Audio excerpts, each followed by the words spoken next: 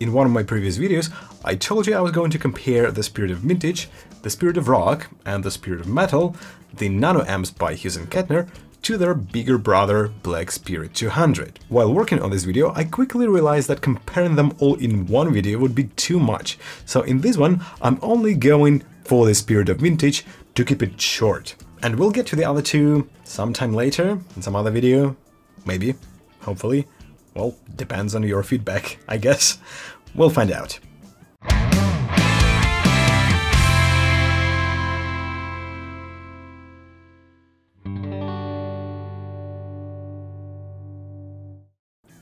This time, I'll also be pushing this amp in terms of master volume, because it will be connected to the Captor X by Two Notes, uh, loaded with my favorite, uh, one of my favorite impulse responses. In fact, both Spirit of Vintage and the Black Spirit 200 will be connected to Captor through the switcher that you can see below. That is the new device I finally finished building, and the idea is that I can connect up to 12 amps to it, pick one of the amps on the left, pick uh, some other amp on the right, and switch between them using my foot switch under the table. Which means I can quickly and efficiently compare two amps without reconnecting them manually all the time. Spirit of Vintage versus Clean Channel of Black Spirit 200. We begin with sagging set to 0 and tone and gain at 12 o'clock. On the switcher, the left side corresponds to Black Spirit 200 under number 4, and the right side is wired to the Spirit of Vintage. I'm playing this beautiful PJD Woodford with three single coils, and I'll be using these two pickups.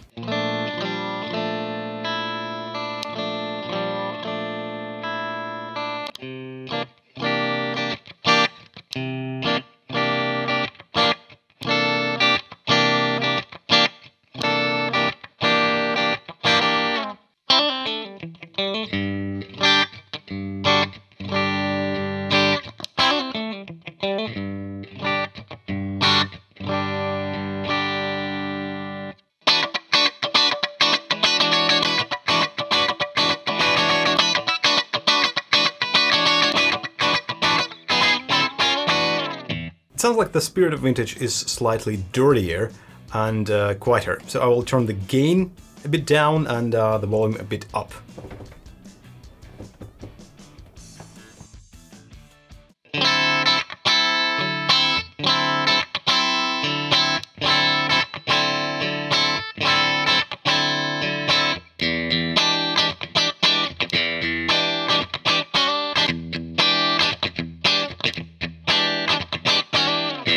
Now that they sound closer to one another, I want to figure out which of the amps is brighter and which one is darker, so I'll be playing with the tone knob.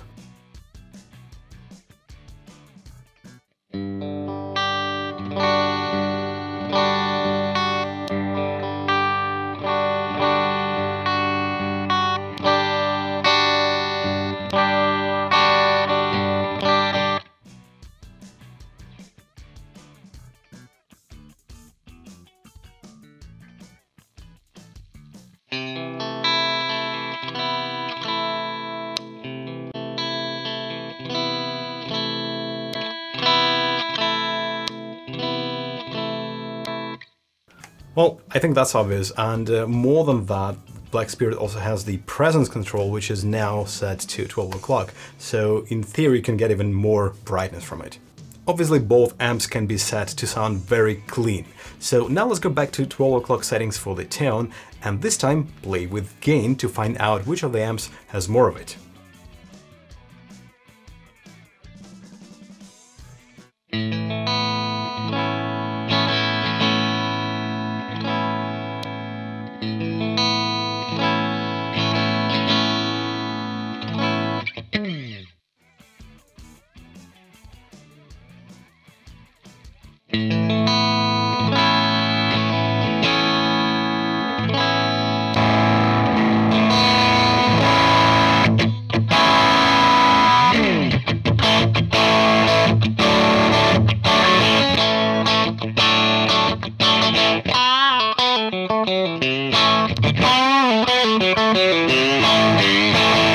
Well, I think that was pretty obvious. However, I might be able to bring Black Spirit 200 to the same level of durness by tweaking the sagging.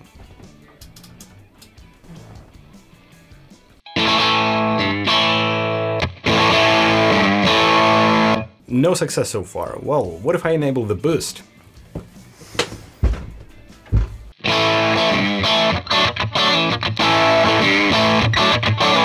Think the nano amp is still dirtier.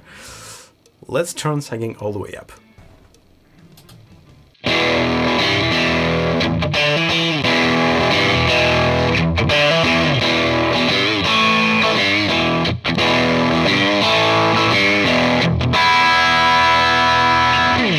It did feel very close, the Spirit of Vintage still has some headroom in terms of sagging though.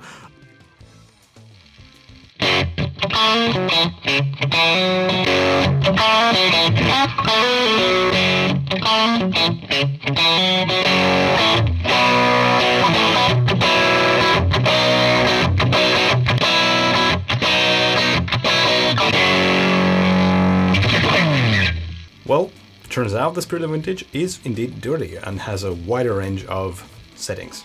That was everything I wanted to show you today.